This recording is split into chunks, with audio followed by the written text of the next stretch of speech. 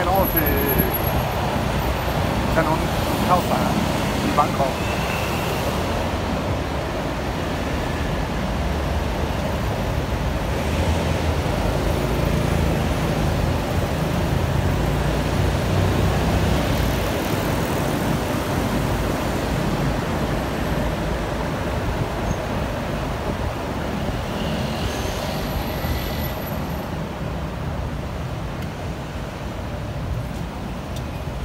แยกอรุณครับข้ามสะพานทางสะพานปิ่นเกล้าแล้วข้างสะพานปิ่นเกล้านี่แยกอรุณใช่แล้วก็ถึงอ่าไม่ไกลจากสะพานสะพานปิ่นเกล้าในแยกอรุณอมรินทร์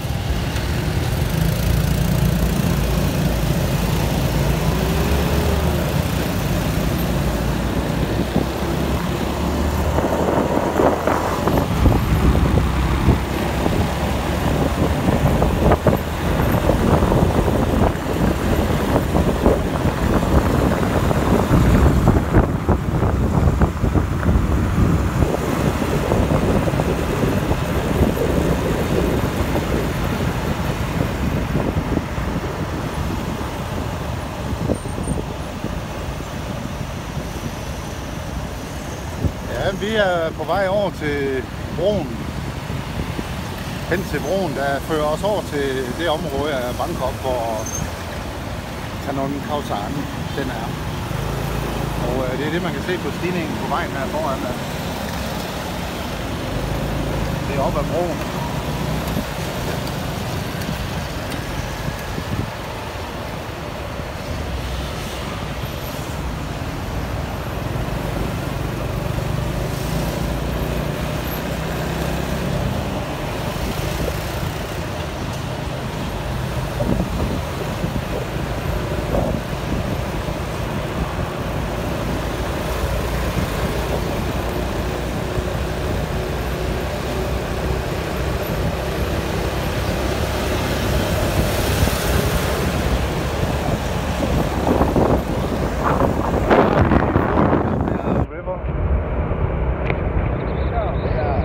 Đâu bây giờ?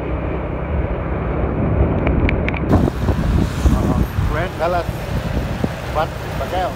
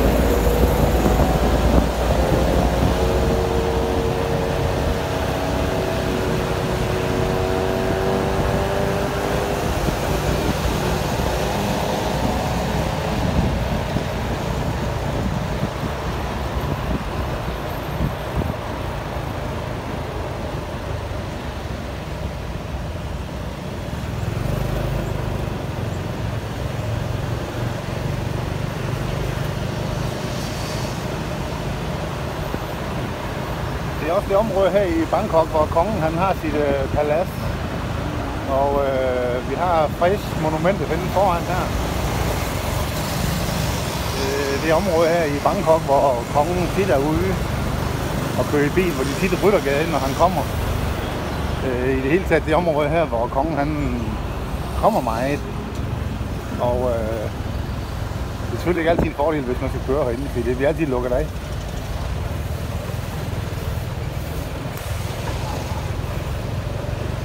Men øh, nu fik vi da lige en køretur her bag på motorcyklen.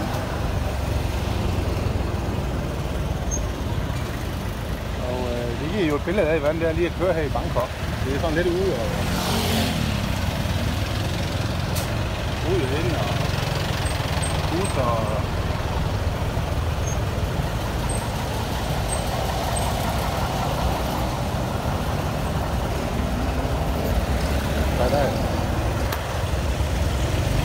glasnagel.